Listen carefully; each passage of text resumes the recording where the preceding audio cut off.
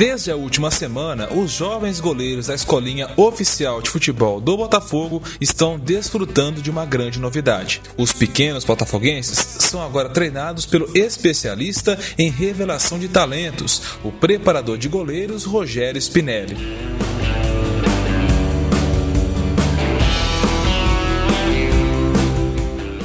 O ritmo dos treinamentos é puxado e Rogério não dá moleza para nenhum dos meninos. A esperança de um dia se tornarem goleiros como Doni ou Diego Alves, por exemplo, deixa cada um deles bastante animado.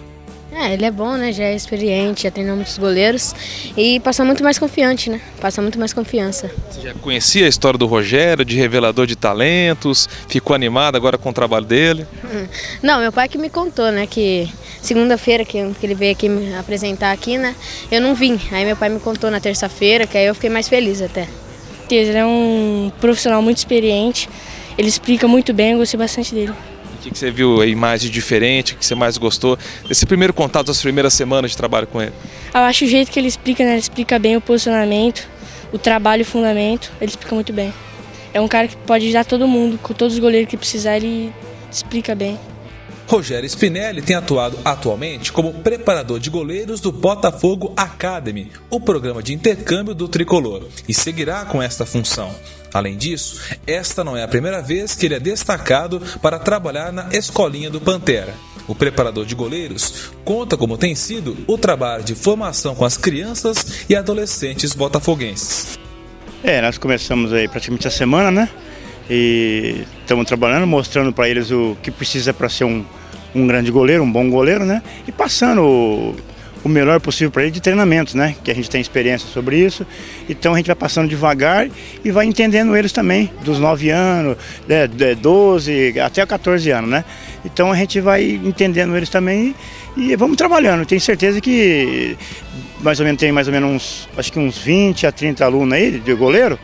E eu tenho certeza que alguns vão sair. É só assimilar bem, né?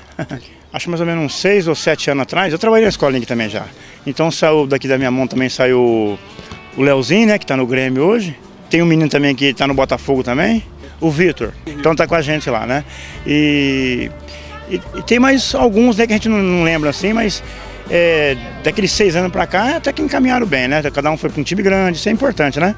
Mesmo com pouco tempo de treinamentos nos campos da escolinha, já há quem tenha notado uma evolução no rendimento desses garotos. Com a, com a vinda do Rogério para cá, criou-se uma expectativa formidável, né? Porque os meninos já animou bastante, já melhoraram, inclusive 25%, 30%, entendeu? Porque, queira ou não queira, é, tudo é, é um estímulo. Se não tiver um estímulo para dar para os garotos, nós estamos enrolados, né?